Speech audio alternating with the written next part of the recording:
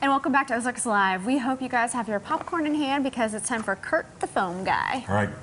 Talk to us, Kurt. What are we focusing on today? Well, if you're a fan of documentaries, it's not hard to find something online right now with all the different sites. And every single one of the Oscar nominated features, doc- documentary features, are available now in some capacity. Two of them are on Netflix right now American Factory and The Edge of Democracy. Uh, one is on Amazon Prime, it's called For Sama. One you'll, you'll have to buy, unfortunately. It's called The Cave. But I will say that this is a National Geographic uh, uh, film, so it's very possible with their connection with Disney Plus. Someday, maybe Disney Plus will pick this one up, and they're all very exciting documentaries uh, to definitely get you going. And the, the fifth nominee right now just came to Hulu. It is called Honeyland. It is about the last beekeeper in Europe. And, and as she is going through her process, you're kind of seeing how she makes a business of this, uh, kind of in the middle of nowhere and uh, in the Eastern Europe. And uh, a family moves in next door and realizes uh, we could do this too. Actually, there's numerous kids you'll see in a second, and uh, there are uh, they have like four or five kids, and it, it, it- they think that maybe if she can do it by herself, we could do it together. And of course, this kind of makes it more of a, a competition thing, and so now we're struggling for different uh, problems, you know, because there's uh, another, you know, game in the market, you know We, uh, an immediate competitor. com- immediate competitor, and that obviously brings in here's the family. That obviously brings in uh, stress and um, issues with the other family. But it's so funny because she'll be yelling at this guy about issues, or, or just telling him, "Hey, you need to be doing this." Mm-hmm. Next thing you know, one of their kids is hanging out with her by the fireplace or something, and it's like. We're still friends, I guess. so another really cool thing, which we've seen kind of over the last few years, is no narration.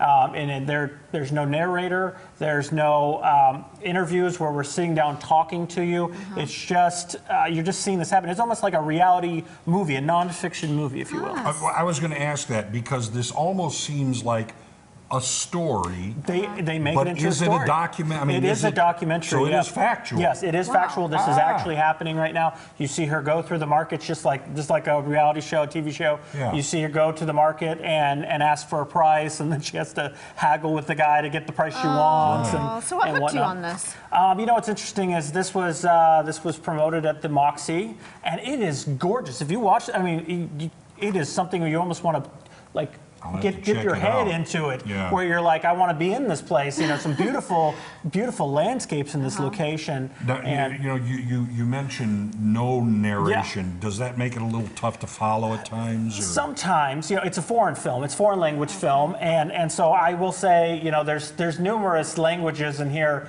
uh, Turkish and a couple different ones, and. Uh, you, you find yourself, you know, having to look down at the screen to make sure you're following it. Most of it is pretty well understood without that, but there's a couple times when they're talking about the kids, and you're like, okay, which kid are we talking about? I don't know which, which kid's Mustafa from Mustafa compared to some other kid.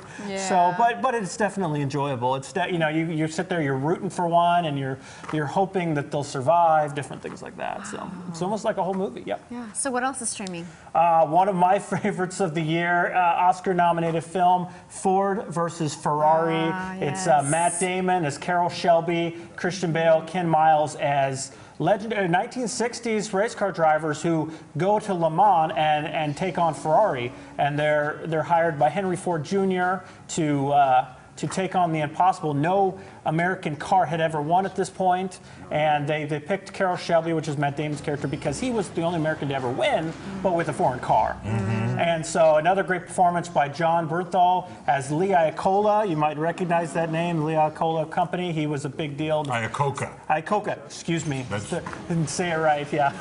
And Josh Lucas, uh, another big performance by Josh Lucas uh, as Leo Beebe. He's like the number two under Henry, Henry Ford uh, Jr. Noah Jupe. That's a name you're going to hear for a while. Noah Jupe is this young kid. He was in Honey Boy. You, actually, we'll probably talk about Honey Boy in a couple weeks. It's coming to Amazon Prime. Okay. And he is just an amazing actor. He plays Christian Bale's son. And he, he's, he's been up in there with all the youth actor awards, you know, young up and coming actor awards. Won a couple of them. A couple of them I, I kind of, oh, I could have, should have won, but yeah. Okay, we've, we've got about 30 seconds Okay. here. Yeah. Is this just for racing enthusiasts? I don't think so. You know, it's such a fun movie. I, I'm kind of disappointed Christian Bale didn't get nominated for anything other than a Screen Actors Guild because he is so fun in this role. He feels like, I mean, it's set in the 1960s. He feels like he's a 1960s actor. Mm-hmm. And the, the films you see, like old Disney movies and stuff, he just makes it so fun to watch him race. Mm-hmm. And, and you don't have to follow it to know what's going on. Mm-hmm. Um, it's probably going to, it's very likely a front runner for best editing. So it's definitely worth watching. I loved it, and I'm not a racer, Yeah. so Okay, I loved well, it. There you are, Yes. there you we go. Yeah. Well, thank